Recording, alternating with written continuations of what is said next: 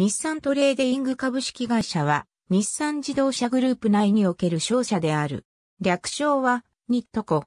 1978年4月に、日産の全額出資で設立以来、主に日産グループ内に向けて、機械、原材料、完成車やその部品の輸出入などを手掛けてきた。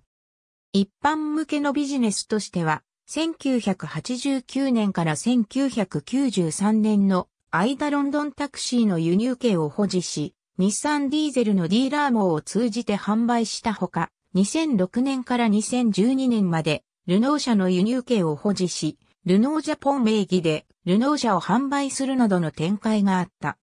日産会社情報会社概要日本の主要関係会社 ABCDEF 日産トレーディング株式会社第44期決算広告ロンドンタクシー JAIA インポーターの変遷ルノー JAIA インポーターの変遷 AB 日産トレーディング株式会社ルノージャポンの事業名称として活動したが2012年4月に当社よりルノージャポン事業を分割日産自動車100%出資によるルノージャポン株式会社として独立、再出発した。